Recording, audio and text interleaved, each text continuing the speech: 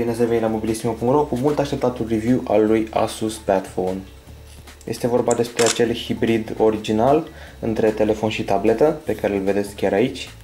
Acesta este telefonul Padphone și tableta Padphone Station. Telefonul se introduce în acest uh, compartiment special. Ați văzut asta în preview și acum a revenit cu review-ul complet. Hai să ne ocupăm întâi de designul telefonului, apoi de al tabletei, știți rețeta. Acest telefon plus tabletă ne-a fost oferit în teste de către Asus România, cărora le mulțumim, iar acest combo costă 699 de euro, cel puțin așa umblă vorba pe web și se pare că și Asus ar fi confirmat la un moment dat. Uh, docul tastatură nu îl avem, acesta este doar un prototip, nu avem nici stylusul cu rol de headset, dar aflați că acel dock tastatură costă 149 de euro și îl găsiți separat dacă nu mă înșel. V-am mai prezentat Padphone cu ceva timp în urmă la Mobile World Congress în Barcelona, ați văzut un hands-on detaliat și se vorbește despre acest hibrid cam de un an. Vi l-am mai prezentat într-un hands-on și la IT Congress, dar în sfârșit hai să trecem la design. Telefonul măsoară 9,2 mm în grosime, cântărește 129 de grame, arată foarte bine, îmi place foarte mult această ramă metalică din jurul său, îi conferă un aspect elegant, nu are butoane frontale, în schimb are aceste butoane capacitive, cele trei specifice lui Android 4.0, o suprafață frontală din sticlă. Acest ecran este unul de 4,3 inch, care arată și se comportă excelent. În partea stângă avem un port micro USB și unul uh, micro HDMI, în vreme ce în partea dreaptă, iată butoanele de volum, partea superioară jack-ul audio, butonul on-off, în partea inferioară nimic, pe spate logo-ul Padphone, cameră 2 megapixel, difuzor și Blitz LED. După cum am spus, un design foarte plăcut al acestui device, textură plăcută asupra feței din spate și această parte plastificată care acoperă bateria se poate scoate destul de ușor, zic eu. Iată, acesta este. Aici găsim bateria, slotul SIM, SIM, nu micro SIM, rețineți, și slotul microSD chiar aici. Ok. Și acum continuându-ne periplul prin lumea lui Padphone, trecem la tabletă. Tableta cu un ecran de 10 inch, ea vine cu o cameră frontală de 1,3 megapixel față de cea de 0,3 megapixel de pe telefon. Ca design avem o grosime de 13,5 mm, deci destul de gros, greutate de 724 de grame, deci destul de greu. Ce mai trebuie menționat este că avem și această zonă de andocare la tablet, la tastatură. În partea stângă avem jack audio, butonul de volum. În dreapta nimic. În partea superioară avem această încuietoare pentru trapă telefonului, care trapă se conectează la telefon folosind portul micro USB, micro HDMI și un conector special. Aici găure pentru cameră și blitz. Și aici butonul on-off și un LED de notificări lângă. În spate avem uh, logo, evident, și un difuzor destul de puternic pe care o să auziți în acțiune ceva mai încolo. Acum sunt sigur că vreți să aflați și ce ne rezervă aceste terminale la capitolul specificații. E bine, Padphone are o baterie de 1520 mAh și împreună cu tableta se presupune că acestea două vor oferi un timp de convorbire 2G de 940 de minute. Ce e sigur e că telefonul acesta va prinde cu greu o zi de utilizare, îi se termină bateria destul de rapid dacă stați pe Wi-Fi, browsing și jocuri, încă o dată e un prototip, dar tableta extinde viața de 5 ori bateria acestui device. În interiorul său avem un procesor Qualcomm Snapdragon S4, un dual core de 1,5 GHz cu GPU Adreno 225. Mai avem și 1 GB de RAM pe acest device, 16 sau 32 GB memorie internă și 32 de GB de stocare gratuită în cloud prin Asus Web Storage timp de 3 ani. Portul micro, uh, slotul microSD l-ați văzut. La conectivitate avem Wi-Fi, HSPA+, 21 de MB pe viteză, GPS. Acest ecran este unul de 4,3 inch, rezoluție 960 pe 540, este un Super AMOLED. Asta înseamnă unghiuri de vizualizare bune și culori vii. Mai avem și protecție Gorilla Glass și la acest ecran și la celălalt tabletei. Tableta Padphone Station are un ecran de, cum am spus, de 10 inch, cu o rezoluție de 1280 pe 800, TFT capacitiv, Gorilla Glass și niște opțiuni interesante pe care le vedeți mai încolo. Bateria tabletei 6600 mAh deci foarte bine. La capitolul cameră, 8 megapixel pe telefon, autofocus LED, lentilă 5 elemente, partea frontală camera de 0,3 megapixeli, iar tableta împarte camera 2 megapixele a telefonului. În rest, obișnuitele giroscop, senzor de proximitate, de luminositate și acel accesoriu stylus cu rol de headset pe care nu-l avem încă, dar sperăm să-l primim cât de curând. Mai trebuie remarcat și că tableta vine cu o antenă de telefon și GPS în plus pentru a îmbunătăți semnalul. Și acum, uh, hai să introducem în cele din urmă telefonul în tabletă. Acesta fiind un prototip, mă aștept să nu funcționeze mereu exact cum am dori. Mi s-a mai întâmplat să nu prindă la fix, dar hai să ne încercăm norocul și să trecem în modul de funcționare tabletă. Iată-ne! Am ajuns în mod de funcționare tabletă. Aici avem experiența pe care ați văzut-o și pe Transformer Prime și pe Asus Transformer P300.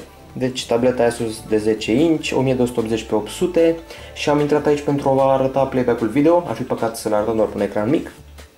Să intrăm într-un film, hai să vedem ceva interesant cu grafică bună, cum ar fi trailerul la John Carter.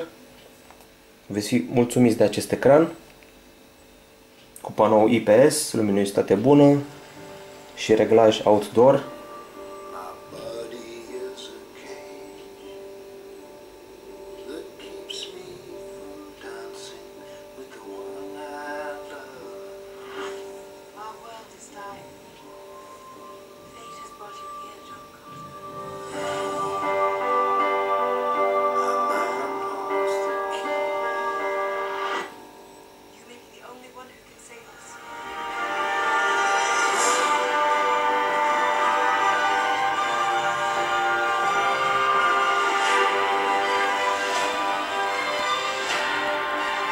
Ați văzut calitatea video, arată excelent, arată ok și pe ecranul telefonului.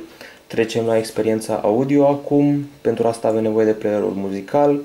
Intrăm în albumul lui Adele, această piesă celebră, o auziți mereu la radio. Avem și efecte. L-ați mai văzut pe Android 4.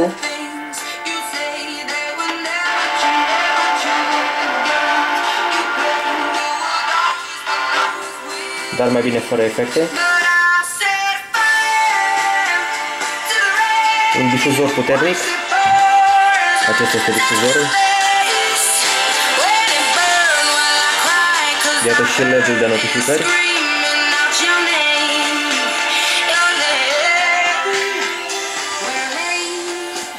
Și acum să trecem la telefon să vedem ce știe difuzorul său pentru a face o comparație. Ați văzut, arată bine playback-ul video pe telefon, sună bine difuzorul tabletei.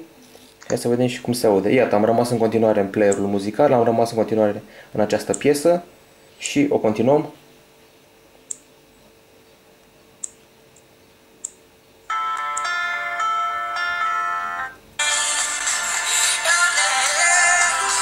Iată difuzorul. Și acesta se aude foarte bine.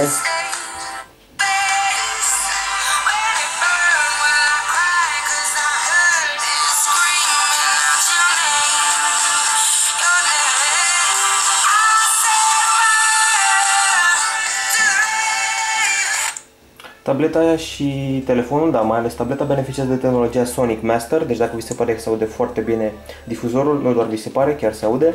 Și acum să testăm camera pe care o împart tableta și telefonul. Pentru asta vom folosi această mică machetă a unui castel. Camera a fost pentru mine o surpriză plăcută. Este 2 megapixel, mă așteptam să fie bună, dar totuși a fost foarte bună. Iată fotografia castelului. O vedeți aici, dăm puțin zoom. Și iată și lucru real. Eu zic că e și foarte bine.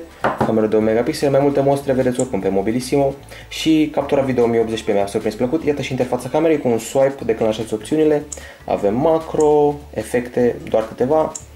Mod noapte și normal, balans de alb, expunere și setele principale, rezoluție, touch shutter, time delay,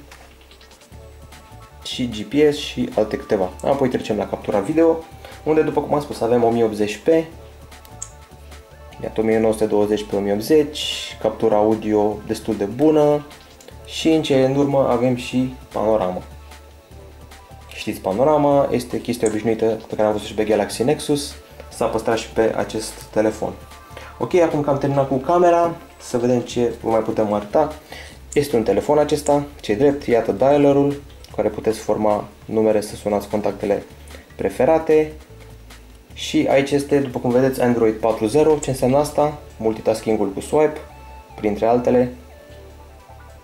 Fluiditate foarte bună, bară de notificări în partea superioară în care găsim și setările și găsim și aceste butoane și slidere de la Asus, cele pentru performanță, acesta este modul balansat și modul de viteză normală și modul de performanță, cel power saving, tot pentru o funcționare mai bună a ecranului și consum mai bine reglat al bateriei și aici alte slidere pentru GPS, volum și altele, zona de setări care include și setări personalizate de Asus, cum ar fi screenshot, performanța sistemului, touchpad și altele. Noi am putut seta astfel încât acest buton de multitasking să facă screenshot-uri dacă îl ținem apăsat, cum am făcut mai devreme. Evident, avem și câteva widgeturi unice de la Asus, cum este acesta, Asus Battery, care arată atât bateria lui Padphone cât și a tabletei.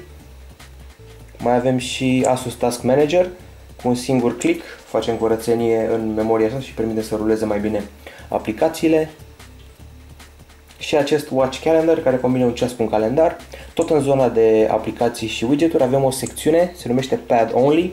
Dacă vă place un joc la o rezoluție mai mare, vreți să jucați doar pe tabletă, îl treceți la Pad Only și îl jucați acolo ceva mai încolo. Deci, după cum am spus, Android 4.0 funcționează excelent, nu l-au modificat exagerat, arată ok, și să vă arăt și o mică curiozitate și anume faptul că puteți face apelare telefonică și de pe tabletă.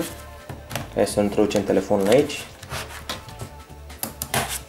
Trecem în mod tabletă. Deblocăm. Aici în zona inferioară, dacă sunteți curioși, experiența obișnuită a tabletelor Asus. Iată, avem opțiune specială pentru vizualizare outdoor, tocmai am dat luminositatea la maxim.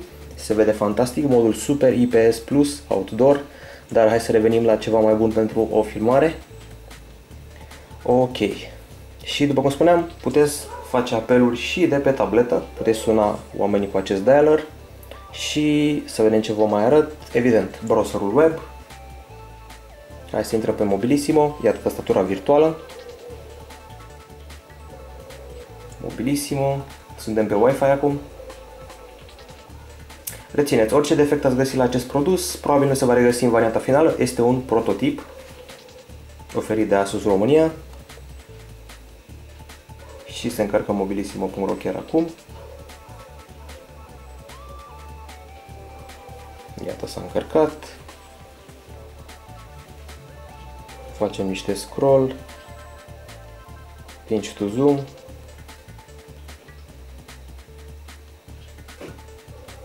Deci funcționarea normală a browserului de pe tabletele Android. În rest, știți rețeta. E interesant faptul că pe telefon aveți experiența YouTube cu noua aplicație pentru Android 4.0, iar dacă veniți pe tabletă aveți YouTube-ul cu carusel din Honeycomb, deci aveți două variante de interfață YouTube cu un singur device hibrid care vă place mai mult. Mie îmi place mai mult aceasta, dar e interesant că puteți alterna. Și aici găsiți zona de aplicații și widgeturi. Evident, puteți citi e mail pe această aplicație folosind aplicația Gmail sau aplicația de mail oferită de Asus.